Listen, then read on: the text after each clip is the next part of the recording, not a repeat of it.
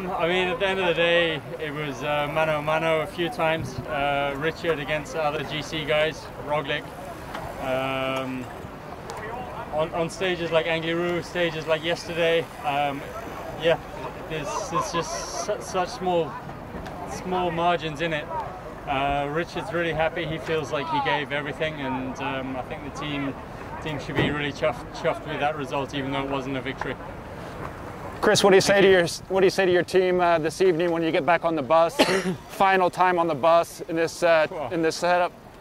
Obviously, a massive farewell, but massive thank you to, to everyone. Massive thank you to uh, Sky over the years, all the support they've they've given us, and the, the, the new sponsors within Ineos as well. I mean, um, and then obviously everyone who's been part of the team on the road, behind the scenes as well.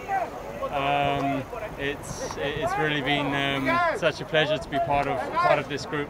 I mean, it's uh, yeah, obviously it's uh, it's been a it's uh, been an emotional day. Last day with the team. It's been 11 11 years.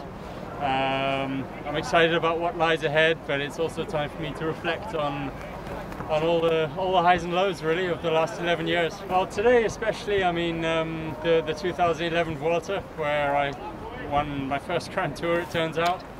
Um, and yeah, I mean, obviously being here at the Vuelta and being awarded that trophy this morning, I brought back a lot of memories from from that period and that sort of, uh, I guess the the progression that I had to to get to that point. Um, it sort of puts everything into perspective. Do you even have time to take off after your injuries? Uh, do you even have time to rest, or do you just keep training and rolling to 2021? Um, I'll, I'll, take a bit of a break from the bike uh, these, these next couple of weeks, but I'm, I'm going to be straight into the gym pretty much and uh, working on uh, the imbalances that I still have, and hopefully start next season on uh, on par and ready to go again. Enjoy. my old legs again. Enjoy. Thank you, Chris.